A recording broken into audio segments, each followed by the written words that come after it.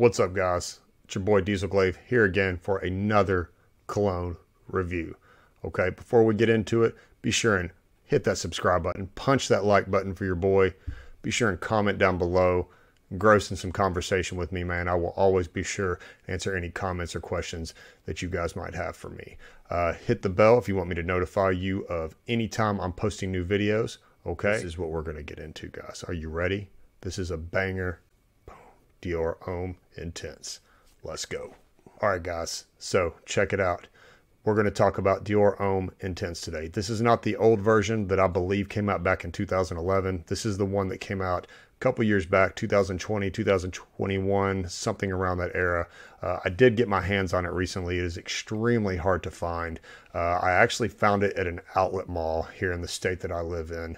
Uh, I drove a couple of hours to get to this place. I had heard through a guy that I trust that finds uh, good colognes, unique colognes for me, and he said that he saw it there. So I rushed up there and I got my hands on it. And guys, I was excited. So I get this cologne. I walk out, immediately open it up, spray it on my wrist,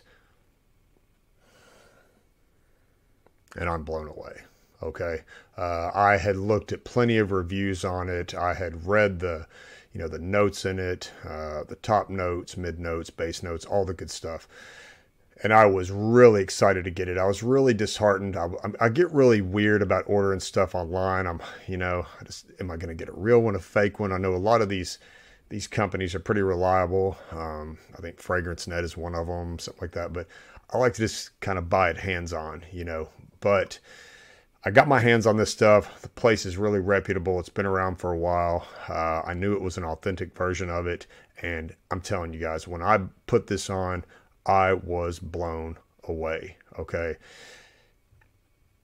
It is very, very, very like high on the iris. The iris is very punch you in the mouth, punch you in the face in a good way, punch the senses there it's very powdery. mm, but it is delicious. It's it's very sophisticated. It's very powdery. The iris in it is a buttery type of iris. Uh, it's okay. The iris and the scent and the Givenchy uh, Reserve Privé um, is, in my opinion, better than this. Okay. Uh, the Givenchy Reserve Privé is, in my opinion, a better smelling cologne than this. But that being said, the Givenchy Reserve Privé blew me out of my socks. Okay.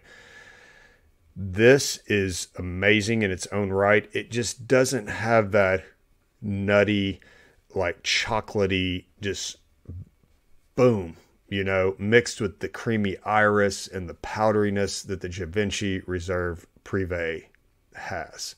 But, but this stuff is amazing in its own right. I was really happy with the scent it was giving off of my skin, the the compliments that I was getting from it just in the first day that I put it on. Mm, it's it's been on my skin now for about five ten minutes I will say this about it over the Givenchy uh, Reserve Privé. It is more sophisticated smelling, right?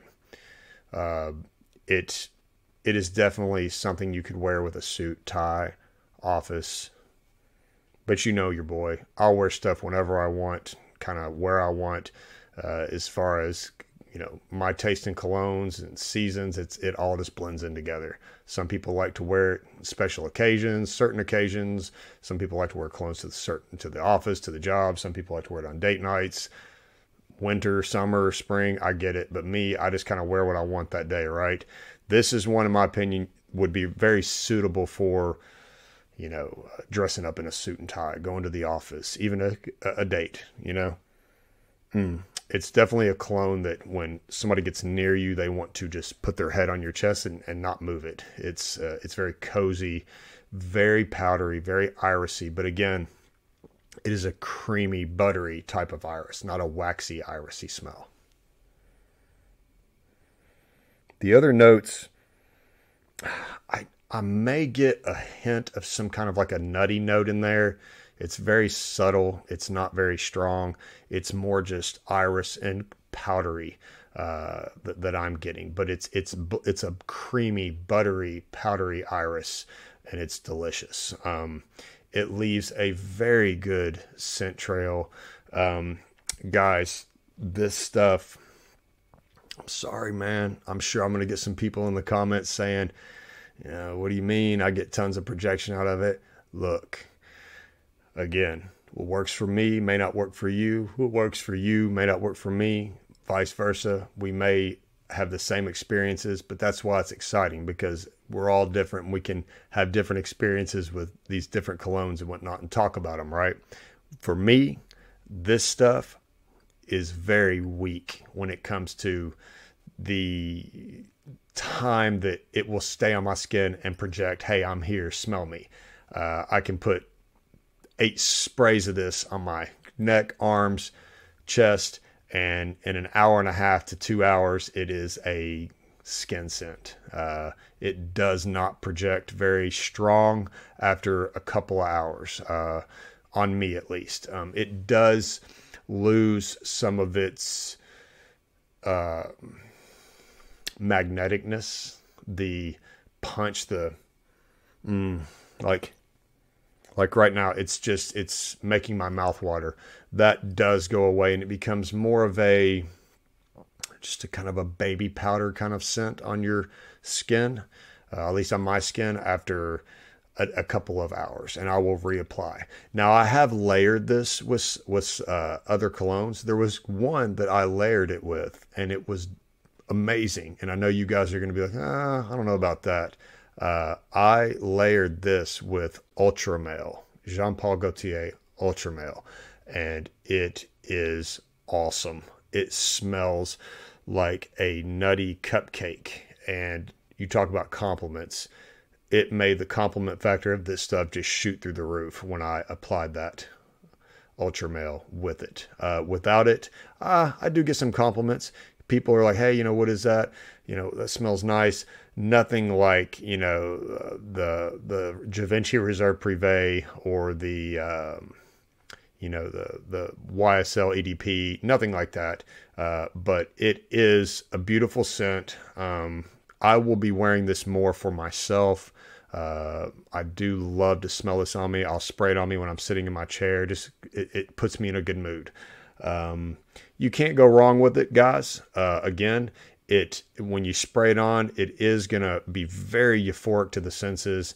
Uh, it is a very wonderful scent, very beautiful scent, more of a sophisticated scent. Okay, very, you know, I'm, I'm, you know, I'm successful, or I'm, I'm very confident.